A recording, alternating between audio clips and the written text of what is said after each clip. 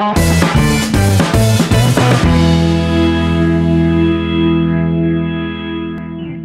everyone, I am back here again with another video of class 8 and this is the third part of the video and we were, so we were studying the first second chapter of geography that was natural resources, land, soil and water. ठीक है तो आज जो है मैं आप लोगों को क्लास 8 का सेकेंड चैप्टर ज्योग्राफी का पढ़ाने वाला हूँ जिसका नाम है natural resources land water land soil and water ठीक है? और ये थर्ड पार्ट है वीडियो का। इसके पहले हमने दो पार्ट बनाया था, जिसमें हमने पढ़ा लैंड के बारे में, कि लैंड का इस्तेमाल कैसे होता है और किस तरह से उसको जो है कंजर्व कर सकते हैं। ठीक है? लैंड का इस्तेमाल कैसे होता है। हमने सेकेंड पार्ट में पढ़ा था सॉइल के बारे में, कि सॉइल का कंजर्वेशन हम लोग कैसे कर सकते हैं। किस किस टाइप के सॉइल्स होते हैं और कहाँ कहाँ पाए जाते हैं। और कौन कौन से जो लेयर्स होते हैं सॉइल के, वो हमने पढ़ा। कौन कौन से होराइजन होते हैं सॉइल के, वो हमने पढ़ा। और सॉइल का इस्तेमाल किस किस तरह से किया जाता है, वो हमने प्रीवियस पार्ट में पढ़ा था। तो इस पार्ट में हम लोग पढ़ने वाले हैं वाटर रिसोर्स के बारे में, जो कि ये लास्ट टॉपिक है इस चैप्टर का। ठीक है? तो आइए देखते हैं हम लोग। आगे बढ़ने से पहले मैं आप लोगों से रिक्वेस्ट करना चाहता हूँ कि अगर आपको वीडियो पसंद आए तो प्लीज़ उसको शेयर कीजिएगा लाइक कीजिएगा। और हमारे चैनल स्टडी ट्रिक को ज़्यादा से ज़्यादा सब्सक्राइब कीजिएगा और बेल आइकन को दबाना मत भूलिएगा सो दैट तुम लोगों को जो है लेटेस्ट नोटिफिकेशन हमारे वीडियोस के मिल पाए। क्लियर तो और ये भी है कि जो आपको पीडीएफ मिलेगा इस चैप्टर का, उससे आप लोग जो है ज़रूर रिवाइज कीजिएगा और कोशिश कीजिएगा कि आप लोग जो है बुक्स ले लें ताकि आप लोगों को जो है अच्छे से और समझ में आए, सामने बुक रख के आप वीडियो देख सकते हैं। और लाइन बाय लाइन पढ़ सकते हैं। कोई भी डाउट हो, आप उसे कमेंट सेक्शन में ज़रूर पूछिएगा, मैं वहाँ पे आपके डाउट्स को क्लियर करूँगा। ठीक है? तो आइए हम बढ़ते हैं इस चैप्टर में आगे। और प्लीज़ वीडियो स्टार्ट करने से पहले आप लोग जो है स्टार्टिंग लिखिएगा कमेंट सेक्शन में और अपना नाम ज़रूर लिखिएगा ताकि हम लोगों को पता चल सके कि आप लोग कनेक्टेड है हमसे और हम आपसे कनेक्टेड हैं। ठीक है? और आप लोगों को जैसे बताया जा रहा है कि सैटरडे से जो है हमारा टेस्ट होगा। तो प्लीज़ इसके लिए प्रिपेयर रहेगा कि जो भी मैंने एट के जो भी मैंने पार्ट्स पढ़ाए जो भी मैंने चैप्टर्स पढ़ाए आप लोगों को उसमें से आपके टेस्ट के क्वेश्चंस बनेंगे। तो आप प्लीज़ प्रिपेयर रहेगा ताकि आप टेस्ट मिस ना करें और आप हम, हम लोग को पता चल सके कि आप लोग जो है हमसे कनेक्टेड हैं। ठीक है? तो आइए हम स्टार्ट करते हैं अपना थर्ड पार्ट ऑफ़ वीडियो इस चैप्टर का जो कि है वाटर रिसोर्सेज ठीक है? About 71 percent of the total surface area of the earth is covered with water जैसा कि हमें मालूम है, हमने लैंड के बारे में पढ़ा था, वो 29 परसेंट है, और जो हमारा वाटर सरफेस वाटर जो वाटर का जो प्रोपोर्शन है हमारे अर्थ पे, वो कितना है? 71 परसेंट है। ठीक है? जो कि लैंड से कवर्ड है हमारा, जो कि वाटर से कवर्ड है हमारा earth 71 percent most of the water about 97 percent जो है सरफेस ऑफ़ द अर्थ वो किस वो किस फॉर्म में? वो ओशन एंड सीज के फॉर्म में है। यानी कि जो 71 परसेंट जो हमारी, जो पानी का जितना भी एरिया है हमारा अर्थ का, उसका 91 97 परसेंट जो है वो एरिया जो कवर्ड है, वो वाटर जो प्रेजेंट हमारे अर्थ में, वो किस फॉर्म में? वो ओशंस और सीज के फॉर्म में अवेलेबल है। This water is saline and is not fit for domestic agriculture and industrial use और ये जो वाटर है ओशंस एंड सीज में अबाउट 97 परसेंट वो जो वाटर है, वो पूरा का पूरा जो है सॉल्टी वाटर है सलाइन वाटर है, और इसका इस्तेमाल जो है हम लोग, वो इतना ज़्यादा सलाइन है कि उसका इस्तेमाल हम लोग डोमेस्टिक पर्पज यानी कि घरों के इस्तेमाल के लिए एग्रीकल्चरिंग करने के लिए, खेती करने के लिए, और इंडस्ट्रियल यूज़ में, यानी कि इंडस्ट्रीज़ में जो उस पानी का इस्तेमाल नहीं कर सकते हैं। क्योंकि वो इतना सलाइन है कि उसका इस्तेमाल करना काफ़ी ज़्यादा नुकसानदायक हो सकता है। Clear out of the total water present on the surface only about three percent is fresh water यानी कि जो तीन परसेंट वाटर जो बच जाता है हमारे सरफेस अर्थ के सरफेस पे वो हमारा फ्रेश वाटर ठीक है? वो ताज़ा पानी हमारे अवेलेबल है। About two third percent of the fresh water is present in the ice caps and glaciers यानी थ्री परसेंट जो फ्रेश वाटर है, उसका टू थर्ड जो वाटर है, वो हमारे आइस कैप्स और ग्लेशियर्स यानी कि हिमालय जो है, और जो माउंटेन्स है, उसमें जो है, जो आइस कैप जो ग्लेशियर्स होते हैं, जो आइस बॉक्स होते हैं ठीक है, उसमें हमारे प्रेजेंट है two third of the water जो फ्रेश वाटर है। Clear only about one percent of the fresh water is fit for human use और सिर्फ़ एक ही परसेंट है जो वाटर का हमारे सरफेस पे जो कि फ्रेश वाटर है, जो कि हम ह्यूमन इस्तेमाल कर सकते हैं अपने डोमेस्टिक पर्पज के लिए, अपने एग्रीकल्चरिंग पर्पज के लिए और इंडस्ट्रियल यूज़ के लिए। ठीक है? तो ये हमारा कॉम्पोजिशन ऑफ़ वाटर जो कि हमारे सरफेस पे प्रेजेंट है। ठीक है और किसका कितना कितना परसेंटेज जो है उसका इस्तेमाल हम लोग कर सकते हैं और कितना जो है फिट है हमारे ह्यूमंस के लिए ठीक है? Therefore, fresh water is the most precious natural resource. इसीलिए जो क्योंकि सिर्फ़ एक ही परसेंट सेवेंटी वन परसेंट यानी कि जो हंड्रेड परसेंट जो सरफेस है हमारा अर्थ का जो वाटर से कवर्ड है उसका सिर्फ़ एक ही परसेंट जो है वो सिर्फ़ हमारे इस्तेमाल के लिए वो इस्तेमाल के लिए है। तो इसलिए जो है वाटर को एक बहुत ज़्यादा प्रीसियस यानी बहुत ज़्यादा मूल्यवान जो बहुत ही मूल्य जो है वाटर नेचुरल रिसोर्स माना जाता है, प्राकृतिक संसाधन माना जाता है वाटर क्योंकि तो सिर्फ़ एक ही परसेंट जो है हमारे ह्यूमंस के यूज़ के लिए है। ठीक है? तो इसीलिए जो है वाटर का इस्तेमाल जो है ही प्रिसाइजली करना चाहिए। जितना इस्तेमाल, जितना यूज़ हो, जितना हमारे नीड्स को फुलफिल कर सके, उतना ही वाटर का वाटर जो है इस्तेमाल करें ताकि वाटर का वेस्टेज ना हो। ठीक है? जो फ्रेश वाटर है, वो किस किस फॉर्म में अवेलेबल है? It is available as ground water in rivers and in lakes यानी कि जो वन परसेंट जो फ्रेश वाटर है, वो किस किस फॉर्म में है? वो ग्राउंड वाटर के फॉर्म में वो रिवर्स के फॉर्म में और वो लेक्स के फॉर्म में है। Rainfall is another source of fresh water और रेनफॉल जो है, वो भी एक फ्रेश वाटर का सोर्स हो जाता है। जिसके कारण क्या होता है कि जो साइकिल है फ्रेश वाटर की, वो बनी रहती है इवापोरेशन कंडेंसेशन और प्रेसिपिटेशन को प्रेसिपिटेशन प्रोसेस से जो वाटर साइकिल जो प्रोसेस हमने पढ़ा है प्रीवियस क्लासेस में वो दिखाता है कि जो वाटर है, जो फ्रेश वाटर है, वो जो साइकिल है, वो बनी रहती है और जो क्वांटिटी है वाटर की सरफेस ऑफ़ द अर्थ पे, वो जो फ्रेश वाटर है, वो कभी भी मतलब इम्बेलेंस नहीं होती है वो बनी रहती है बारिश की वजह से। ठीक है? The distribution of fresh water on the earth is highly uneven on the surface of earth यानी कि जो डिस्ट्रीब्यूशन है फ्रेश वाटर का हमारे सरफेस पे अर्थ के सरफेस पे, वो काफ़ी ज़्यादा अनइवन है। मतलब एक समान जो है डिस्ट्रीब्यूशन वाटर का नहीं है हमारे अर्थ पे। वो वेरी करता है फ्रॉम सीज़न टू सीज़न ठीक है? तो फ्रेश वाटर का जो अवेलेबिलिटी है, वो वेरी करती है, वो चेंज होती रहती है सीज़न के हिसाब से। यानी कि गर्मियों में जो है बहुत कम पानी बचता है हमारे फ्रेश वाटर का और ठंड में जो है पानी की जो मात्रा है वो बढ़ जाती है। ठीक है? तो सीज़न के सीज़न के हिसाब से जो है बारिश के बारिश के मौसम में जो है बहुत ज़्यादा पानी अवेलेबल हो जाता है। तो तो सीज़न टू सीज़न जो है, जो अवेलेबिलिटी है फ्रेश वाटर की, वो अनइवन है. मतलब वो बराबर नहीं है. और रीजन टू रीजन भी जो है, वो बहुत ज़्यादा वैल्यू करता है. यानी कि जैसे इंडिया का एग्ज़ाम्पल रीजन टू रीजन कहने का मतलब है कि जगह के हिसाब से. जैसे इंडिया का ले लें इंडिया में जो है, अगर देखोगे तो कई कई बार ऐसे इलाके हैं इंडिया में, जो कि मान लो सेंट्रल इंडिया का पार्ट हो गया, महाराष्ट्र का कुछ पार्ट हो गया. ठीक है, वहाँ पे वहाँ पे फ्रेश वाटर की अवेलेबिलिटी बहुत कम हो जाती है समर्स में. ठीक है? मध्य प्रदेश का कुछ रीजन हो गया। तो और बिहार का भी कुछ रीजन होने लग गया है। तो बहुत सारे ऐसे पार्ट्स ऑफ़ हमारे इंडिया है जहाँ पे अवेलेबिलिटी ऑफ़ वाटर जो है बहुत कम है। और कहीं कहीं पे काफ़ी अच्छी है। यानी कि वहाँ पे पूरे साल जो है पानी ढंग से वहाँ मिल जाती है किसानों को खेती करने के लिए और डोमेस्टिक यूज़ के लिए। बट कहीं कहीं ऐसे रीजन है जहाँ पे पानी की बहुत किल्लत किल्लत हो जाती है गर्मियों के मौसम में। तो अवेलेबिलिटी जो डिस्ट्रीब्यूशन है वाटर फ्रेश वाटर का हमारे अर्थ पे हमारे इंडिया में एग्ज़ाम्पल वो सीज़न टू सीज़न वेरी करती है और जगह टू जगह भी वो वेरी करती रहती है। ठीक है? आइए देखते हैं आगे। बहुत ज़्यादा जो है पानी की शॉर्टेज देखी जा रही है। पानी की यानी कि वहाँ पर पानी की प्रॉब्लम जो है बहुत ज़्यादा आज, के टाइम फेस हो रही है। Water shortage is also caused due to misuse, overexploitation and contamination of water resources. यानी कि वाटर का जो शॉर्टेज है। वो बहुत सारे कारणों का बहुत सारे रीजन है उसके। जैसे कि मिस यूज़ यानी कि पानी का मिस यूज़ करना, यानी कि जो पानी है, जो ज़रूरत से ज़्यादा इस्तेमाल कर रहे हैं, पानी वेस्ट कर रहे हैं, ज़रूरत से फेंक कर, ठीक है? तो मिस यूज़ जो है पानी का बहुत ज़्यादा हो रहा है। ओवर एक्सप्लोटेशन यानी कि पानी की जो जो पानी की रिसोर्सेज अवेलेबल है हमारे पास तो उसको ओवर एक्सप्लोट किया जा रहा है। यानी कि पानी का इस्तेमाल कहीं भी किया जा रहा है, जहाँ ज़रूरत है वहाँ पे नहीं हो रहा है। ठीक है? जहाँ पे सही तरीके से जितना यूज़ होना चाहिए, वहाँ पे उतना नहीं हो रहा है, उससे ज़्यादा यूज़ किया जा रहा है। और कंटेमिनेशन कंटेमिनेशन मतलब पानी की जो रिसोर्सेज है, जैसे कि रिवर्स हो गया हमारे इंडिया में, उसको जो है बहुत ज़्यादा गंदा किया जा रहा है इंडस्ट्री इंडस्ट्रीज़ के द्वारा फैक्ट्रीज के द्वारा केमिकल्स वहाँ पे छोड़कर। तो ये सब चीज़ें जो है बहुत ज़्यादा इंपॉर्टेंट रोल प्ले करते हैं हमारे वाटर रिसोर्सेज को एक्सप्लोर करने में या फिर उसको और वाटर शॉर्टेज का वाटर शॉर्टेज को करने में। ठीक है, यानी कि मान लो मिस यूज़ हो रहा है तो ज़ाहिर सी बात है कि पानी जो है वो खराब पानी कम बचेगा दूसरों के लिए। कंटेमिनेशन हो रहा है तो ज़ाहिर सी बात है जो फ्रेश वाटर है वो भी जो है खराब हो रहा है ह्यूमंस के इस्तेमाल के लिए। यानी कि जो लोग रिवर्स में कपड़े धोते हैं, नहाते हैं, वो नहीं कर सकते हैं। क्लियर तो फ्रेश वाटर जो है वो धीरे धीरे कम होता जा रहा है इन सब चीज़ों के कारण।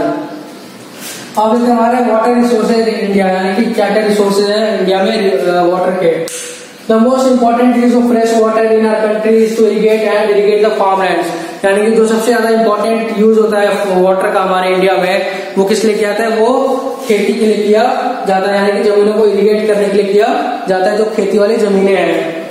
India gets plenty of rainfall from monsoon but it is highly uneven यानी कि इंडिया में जो है पानी तो बहुत मिलता है बारिश के कारण बट जो जो मानसून आते हैं, उसकी वजह से जो रेनफॉल होती है इंडिया में, उसकी वजह से काफ़ी ज़्यादा पानी जो है इंडिया में मिलती है बट जो रेनफॉल है वो भी अनइवन है हमारे इंडिया में। जैसे कि part of the north eastern part north east north east states देख लो, ठीक है, वहाँ पे जैसे आसाम हो गया, अरुणाचल प्रदेश हो गया, मेघालय हो गया, वहाँ पे जो है पानी, बारिश जो है बहुत ज़्यादा होती है। उसी तरह राजस्थान देख लो, मध्य प्रदेश देख लो पार्ट ऑफ़ महाराष्ट्र देख लो ठीक है, वहाँ पे बारिश जो है बहुत कम होती है। उसी तरह साउथ में आ जाओ, केरला हो गया, तमिलनाडु हो गया, चेन्नई हो गया, वहाँ बहुत ज़्यादा बारिश होती है। तो जो वाटर का जो डिस्ट्रीब्यूशन है, हमारे इंडिया में रेनफॉल से वो बहुत ज़्यादा अनिवन है, यानी कि बराबर नहीं है। कहीं पे बहुत ज़्यादा कमी है तो कहीं पे बहुत ज़्यादा बारिश हो रही है। तो वहाँ पानी जो है बहुत ज़्यादा अवेलेबल है। To solve this problem we need to divert water from water surplus to water deficient region और अगर इस प्रॉब्लम को सॉल्व करना है तो जो एरिया जहाँ पे बहुत ज़्यादा सरप्लस वाटर है, बहुत ज़्यादा पानी है, उन पानी को जो है, वैसे रीजन में डाइवर्ट करना पड़ेगा, वैसे रीजन में भेजना पड़ेगा, जहाँ पे बारिश बहुत कम होती है जहाँ पे शॉर्टेज बहुत ज़्यादा पानी की देखी जाती है। तो जो स्टेट्स है जो जो जो जो भी एक रिवर होती है ठीक है जैसे ब्रह्मपुत्र फॉर एग्ज़ाम्पल ले लो वो बहुत सारे स्टेट्स होकर गुजरती है। उसी तरह हमारा गंगा रिवर देख लो वो वो, वो बहुत सारे स्टेट्स होकर गुजरती है। तो वो जो पानी है वो और वो जो पानी है उन रिवर्स का तो उसपे किसी स्टेट का एक single handle sing, singly handle मतलब वो वो इस प्रॉब्लम को नहीं सॉल्व कर सकती है। कोई भी एक पर्टिकुलर स्टेट और कोई भी पर्टिकुलर स्टेट जो है वो ज़्यादा कंट्रोल रिवर्स का अपने ऊपर नहीं कर सकती। क्योंकि बहुत सारे ऐसे स्टेट्स हैं जहाँ पे पानी की शॉर्टेज है और बहुत सारे ऐसे स्टेट्स हैं जहाँ पे पानी बहुत ज़्यादा अवेलेबल है। तो उन पानी को डाइवर्ट करना दूसरे स्टेट में काफ़ी ज़्यादा ज़रूरी हो जाता है। क्लियर तो इस प्रॉब्लम को सॉल्व करने के लिए सिर्फ़ एक सिर्फ़ एक ही स्टेट जो है वो इस प्रॉब्लम को सॉल्व नहीं कर सकता है। इस प्रॉब्लम को सॉल्व करने के लिए सारे स्टेट्स की गवर्नमेंट को जो है एक साथ होना पड़ेगा और तभी जो है इस पानी की शॉर्टेज को हम लोग, यानी कि वाटर की शॉर्टेज है, उसको हम लोग सॉल्व कर सकते हैं। Clear this can be done to produce more food for increasing population and timing supply of water यानी कि ज़ाहिर सी बात है, जो पॉपुलेशन धीरे धीरे जो बढ़ रही है ठीक है तो पानी की ज़ाहिर सी बात है ज़रूरत पड़ेगी कि ज़्यादा पानी का इस्तेमाल किया जाए, ज़्यादा पानी की सप्लाई किया जाए, ताकि जो फ़ूड क्रॉप्स का जो इरिगेशन हो रहा है, जो प्रोडक्शन हो रहा है, वो ज़्यादा से ज़्यादा हो सके, ताकि जो पॉपुलेशन बढ़ रही है उसको फ़ीड किया जा सके। क्लियर इसलिए जो है डिफरेंट सोर्सेज हमारे इंडिया में, पानी के वो क्या क्या है? इरिगेशन के हो गया कि कैनल्स नहर हो गया, कुआँ हो गया ट्यूबवेल्स हो गया, और टैंक्स जो है ये सारे सोर्सेज है इरिगेशन के, जिसके थ्रू हम लोग पानी खेतों में पहुंचाते हैं। ठीक है? तो आई होप यहाँ पे आपको क्लियर हो गया होगा। आई होप ये दोनों टॉपिक्स क्लियर हो गए आपको। कोई भी दिक्कत हो प्लीज़ आप मुझसे जो है कमेंट सेक्शन में ज़रूर पूछेगा ताकि मैं वहाँ पर आपके डाउट्स क्लियर कर सकूँ। आइए हम आगे बढ़ते हैं अपने नेक्स्ट और लास्ट टॉपिक के चैप्टर के, जो कि हमारा कंजर्वेशन ऑफ़ वाटर रिसोर्सेज यानी कि किस तरह से जो है हम अपने वाटर के रिसोर्सेज है उसको बचा सकते हैं, ताकि अपने साथ साथ जो है अपने फ्यूचर जनरेशन के लिए भी जो है डिमांड जो उनके नीड्स है, वो अपने फुलफिल कर सके और साथ साथ अपना भी हम लोग कर सके। So now on to the next that is the last topic of this chapter that is the conservation of water resources यानी किस तरह से जो है हम लोग वाटर के रिसोर्सेज को कंजर्व यानी कि बचा के रख सकते हैं और वाटर जिससे सेव कर सकते हैं हम लोग। Conservation of water can be adopted can be can be made can be done by adopting different measures यानी कि water conservation can be done by adopting different measures यानी कि डिफरेंट मेजर्स को अपनाकर जो है हम लोग वाटर के कंजर्वेशन को कर सकते हैं।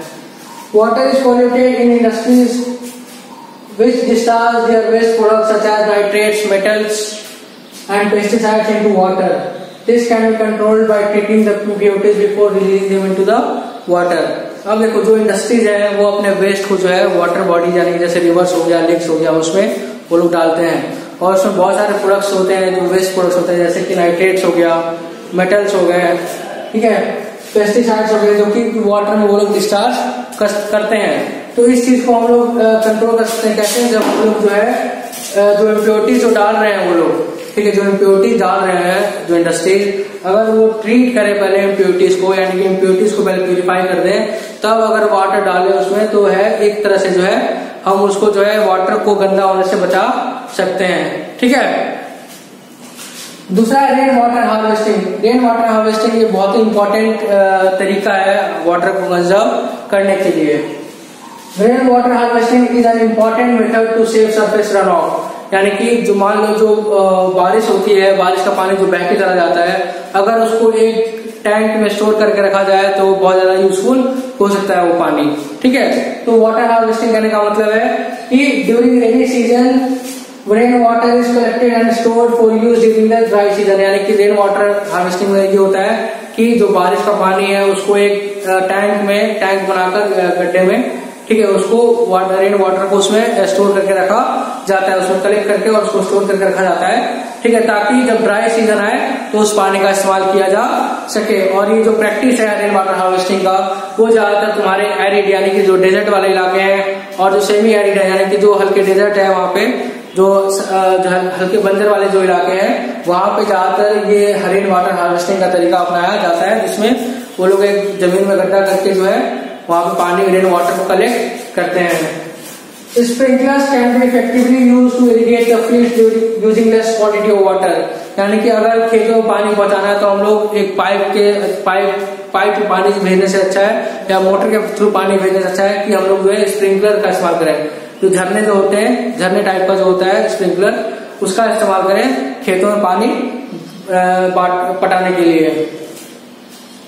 More tree should be planted so as to reduce surface run off यानी कि प्लांट बहुत ज़्यादा से ज़्यादा जो है हम लोग पेड़ों को उगाए ताकि जो वाटर जो बह के चला जाता है एक जगह दूसरे जगह उसको जो है जो जड़ें होती है प्लांट की वो अपने आप, अपने आप, अपने पास जो है कंजर्व करके रखते हैं। इसलिए जो है ज़्यादा ज़्यादा प्लांट उगाने चाहिए प्लांट हाँ उगाने चाहिए ताकि जो सरफेस रन ऑफ़ है वाटर का वो ना हो और जो जड़े हैं पेड़ों के, वो पानी को स्टोर करके और जो ग्राउंड वाटर है उसको भी रिचार्ज करके हमेशा रखे। ठीक है? यानी कि जब हम लोग ये जो प्लांट उगाएँगे तो जो ग्राउंड वाटर है, वो पानी सोख लेगा जड़ों के थ्रू और पानी जो है वहाँ पे ग्राउंड वाटर जो लेवल है पानी का, वो बना रहेगा ताकि और उससे क्या होगा कि जो उससे क्या होगा कि जो सरफेस बारिश के पानी, जो पानी बह जाता है, वो नहीं बहेगा। Hence, conservation of water is possible through planned utilization and protecting the available water sources of pollution तो कंजर्वेशन ऑफ़ वाटर हम तभी कर सकते हैं उसका प्लान यूटिलाइजेशन करें यानी कि उसको अच्छे तरीके से प्लान करके जो है पानी के सोर्सेज का इस्तेमाल करें और जो भी हमारे सोर्सेज अवेलेबल है पानी के उसको जो है गंदा होने से रोक सके। तभी जो है हम लोग वाटर को बचा कर रख सकते हैं हमारे अपने यूज़ के लिए और फ्यूचर के इस्तेमाल के लिए भी। ठीक है? तो आई होप ये टॉपिक आपको समझ में आ गया होगा। ठीक है, कोई भी डाउट हो, आप उसे कमेंट सेक्शन में ज़रूर पूछिएगा। और इन द लास्ट हमने पढ़ा कि इस चैप्टर में पहले हमने लैंड के बारे में पढ़ा कि किस तरह से लैंड को हमने यूटिलाइजेशन किया है और किस तरह से वो उसको कंजर्वेशन किया है हमने, किस तरह से लैंड को हम लोग डिग्रेड करते हैं, ठीक है? और किस तरह से हम लोग प्लांट यूटिलाइजेशन करके जो लैंड को हम लोग बचा सकते हैं। उसी तरह हमने सॉइल के बारे में पढ़ा कि सॉइल कौन कौन से सॉइल पाए जाते हैं इंडिया में। और कहाँ कहाँ पाए जाते हैं? कितने लेयर्स होते हैं सॉइल के? कितने होराइजन होते हैं सॉइल के? कौन सा सॉइल ज़्यादा फर्टाइल होता है? कौन सा सॉइल फर्टाइल नहीं होता है? ठीक है, उसको हम सॉइल कंजर्वेशन कैसे कर सकते हैं ये पढ़ा हमने। और ये लास्ट टॉपिक जो हमने वाटर पढ़ा कि वाटर जो है शॉर्टेज कितना ज़्यादा फेस करना पड़ रहा है इंडिया में और बाकी पार्ट्स ऑफ़ द वर्ल्ड में। डिस्ट्रीब्यूशन कितना है वाटर का? जो टोटल सरफेस है वाटर हमारे अर्थ में उसका डिस्ट्रीब्यूशन कितना है? और किस तरह से जो है वाटर रिसोर्सेज कौन कौन से अवेलेबल है हमारे इंडिया में? और किस तरह से जो है वाटर कंजर्वेशन कर सकते हैं। तो ये सब चीज़ें हमने इस टॉपिक में पढ़ा है चैप्टर में पढ़ा है। आई होप कि आपको ये टॉपिक समझ में आया होगा, ये चैप्टर समझ में आया होगा। फिर भी कोई दिक्कत हो तो आप मुझसे कमेंट सेक्शन में ज़रूर पूछेगा और लास्ट में ये बोलना चाहूँगा कि अगर आपको वीडियो पसंद आया तो प्लीज़ शेयर कीजिएगा लाइक कीजिएगा और हमारे चैनल ट्रीट को सब्सक्राइब कीजिएगा। और बेल आइकन को दबाना मत भूलिएगा। और जो पीडीएफ मिलेगा आपको इस चैप्टर का जो क्वेश्चन आंसर्स आपको दिए जाएँगे होमवर्क जो आपको दिया जाएगा प्लीज़ आप सिंसियरली जो है अपने फेयर कॉपी में कीजिएगा। वीडियो देखने से पहले आप स्टार्टिंग और अपना नाम ज़रूर डालिएगा और एंड करने, और एंड करने के बाद जो है आप कमेंट सेक्शन में एंड ज़रूर लिखिएगा, ताकि आपको पता चल सके कि आप हमसे कनेक्टेड है और हम आपसे कनेक्टेड हैं। ठीक है? और मैं आपको रिमाइंड कराता हूँ कि जो है सैटरडे को टेस्ट होगा तो प्लीज़ प्रिपेयर रहिएगा टेस्ट के लिए जो भी एट चैप्टर्स मैंने पढ़ाए आप लोगों को। ठीक है? उसका टेस्ट जो है लिया जाएगा। और in the end I will say so thank you for watching the video. Thank you so much.